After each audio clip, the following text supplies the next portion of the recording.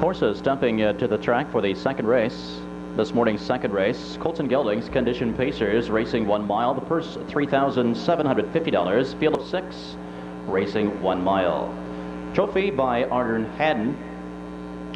He won the horses, the one, winners Sombra, over the partnership of Collins Parish, Shulman and Collins of Ohio, Dean Collins, the driver. Number two, Show You Right, and driven by Alonzo Spencer of Cleveland, Ohio. Three Grand Two Boy, owned by Brumbaugh of Arcanum and Vixler of Greenville, Ohio, Jeff Fout with Alliance. Number four, Carolina Rich, by John Williams of Cleveland Heights, Ohio, Don Irvine with the. Five, Flaming Rocky, owned by Kenneth Reynolds of LaRue, Ohio, Dave Repine of the bike. From post position six, it's Mr. Preston, owned by George Stoffel of Canton, Ohio, with Mr. Ken Holiday in the sulky. Win play show, perfecta, trifecta wagering. Post time in seven minutes. Second race, pacing Colton Geldings, lining up, moving in.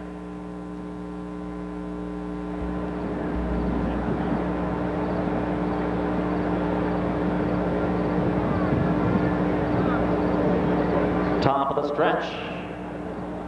They're approaching to start.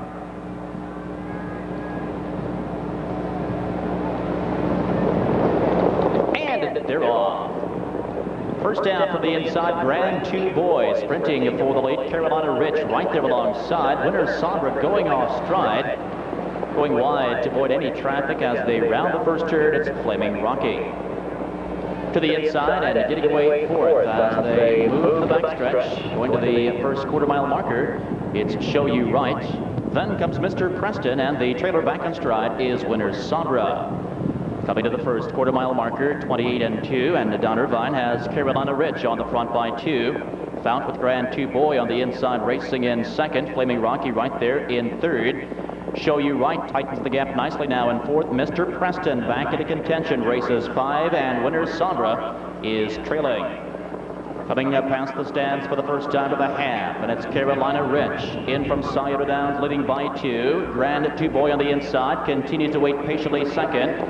Flaming Rocky is right there, waiting to go in third. Halftime 58 and three fifths. Here comes Doc Holliday with Mr. Preston gunning up on the outside. Was fifth, now fourth, now third, and coming strong to the back stretch now with Carolina Rich still leading the way. Grand Two Boy on the inside in second. Mr. Preston is right there at his wheel in third. At the rail, Flaming Rocky is trapped in fourth. Inside to show you right, races in fifth. Winner Sombra sixth and last. Coming to the three-quarter mile marker, 127 and two. It's Carolina Rich with the lead by a length and a half two. Grand Two Boy now with the racing room is chasing in second. Flaming Rocky to the inside. Mr. Preston begins to fade in fourth. Top of the stretch, they turn for home. It's Carolina Rich by a comfortable two length. Grand Two Boy, and here comes Flaming Rocky to the outside. Coming to the wire, Carolina Rich and Don Irvine to win the second. It's Carolina Rich, followed by Grand Two Boy and Flaming Rocky. The mile, 155 and 1. Down in front of the stand to the winner's circle, winner of the second race this morning, number four, Carolina Rich. Carolina Rich, a three-year-old son of the world champion Cam Best, to the Viking bred by Falcon Elmerhurst.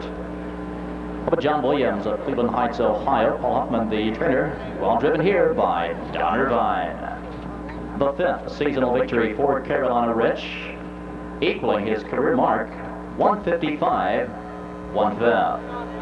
Second race trophy by Arden Haddon and trackside to make the trophy presentation, Ted Ramirez, along with Gene Thompson. Well, for Carolina Rich, back half in 56 and 3, Dave. Final quarter in 27 and 4.